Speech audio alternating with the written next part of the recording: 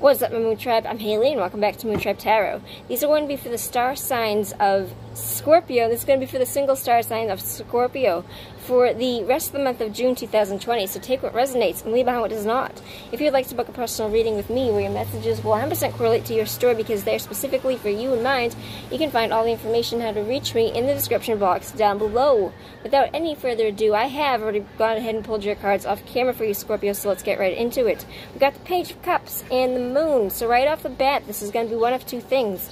It's either that somebody is giving you emotion, and because you are afraid of relationships because of whatever happened in your past, you are afraid of this and you are uncertain of where this can go, or you are coming out of a period of uncertainty and you are questing for somebody and having the reverse happen where you don't know if they're going if it's if they want to take it on, you're going to have anxieties about this still. So either way that you want to split this, I do see this as anxieties, um, more or less so being handled on your end. But I see this as somebody's coming in with a gift. It doesn't matter who it is, if it's you or somebody giving it to you, it doesn't matter. Somebody giving somebody a gift of emotion. This can be an invitation out to go to drinks or dinner or date.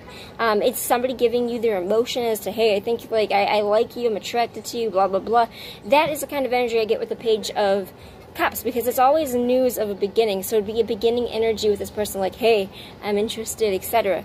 Um, but having this come in for whatever reason is going to make somebody feel very anxious and that they don't have the full answers that they need in a situation, be it what it is. So I am going to pull for why is the moon here? What are the uncertainties in the situation with the moon? Why, why, why?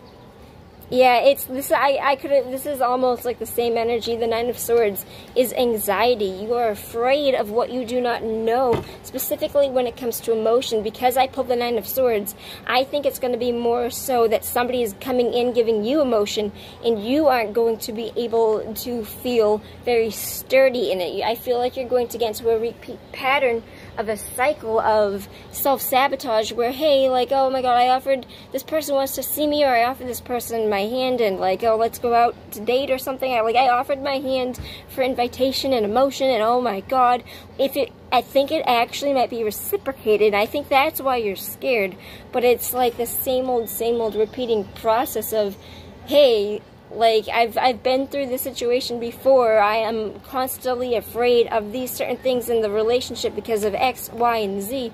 I, I see this as a repeating kind of cycle where it keeps you up at night.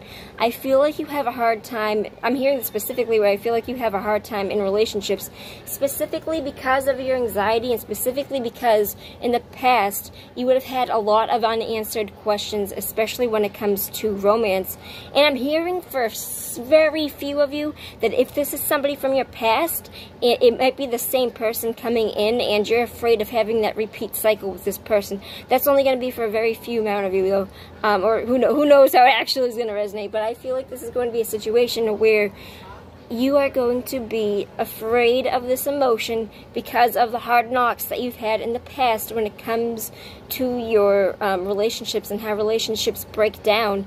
It's saying that you don't have all the answers that you need to know, which is not necessarily, necessarily a knock. It's not saying, oh, hey, this person is doing this negative thing to you. It's saying you just don't have the full answers to what you need in a relationship or you're not sure how to get around the anxieties that come out in a relationship. It doesn't have to be so centered around, oh my god, this person's bad. This person is like this, this, this.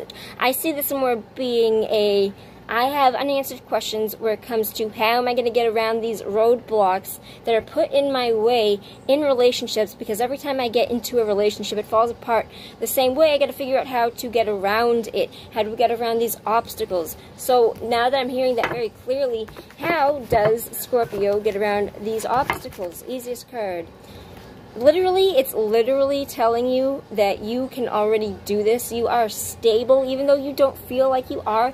You are somebody in a position of power. You are somebody with leadership capabilities. You understand structure. You might be in uh, some sort of areas in your chart, but this would represent this would represent a situation where you have a lot more power than you think you do, and all that is required for you to get around these obstacles is to plan ahead. Um, so planning ahead, making sure that things are structured, putting down your boundaries. I'm hearing that pretty strongly. Put down your boundaries of exactly what you need and what you don't need in a relationship. I think the word boundaries, and I'm seeing a wall. So I think that you're either going to have to knock down some walls when it comes to boundaries, or knocking down the wall is going to represent that um, that's what you have to do in order to start having these plans. I think I, I'm seeing the wall as the obstacle as maybe something to do with the ego. I feel like it's something where um, breaking down the wall. Hold on, I'm not used to channeling messages like this. Um, breaking down the wall when it comes to ego. I think that you have to break down some sort of large part of yourself in order to have progress. But I feel like those walls have to be taken down in order for you to get around them. Um, and when I say that it's this kind of wall, I really feel like it's going to be the situation where maybe you aren't fully addressing the problem. Maybe you aren't, maybe you are aware of this wall, but maybe you aren't putting down the effort to get around it. And I think that's where the Emperor comes in. It says that you have the ability to break down these insecurities and instabilities in your life to rebuild it into something that would suit you better. And that is the message that I'm hearing for you, Scorpio. So with that, take care. I'll see you on the flip side. Peace out, my Moon Tribe.